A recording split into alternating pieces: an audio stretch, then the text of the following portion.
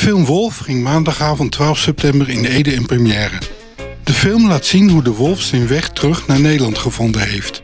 Een groot deel van de opnames vond plaats hier op de Veluwe en ook in de gemeente Ede. Tijdens de feestelijke premièreavond zagen meer dan 800 mensen, waaronder prinses Laurentien, voor het eerst deze natuurfilm. Tussen alle gasten liepen 16 winnaars van de tekenwedstrijd rond. De tekeningen van de kinderen kregen een mooie, prominente plek tijdens de première.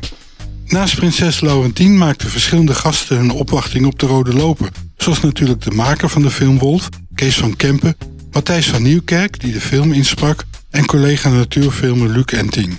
Mooi zo ging met filmmaker Kees van Kempen naar een van de locaties waar de film opgenomen werd en had een uitgebreid interview met Van Kempen. Dat kunt u zien in de komende uitzending van Mooi Zo vanaf maandag 26 september. Kijken hoor!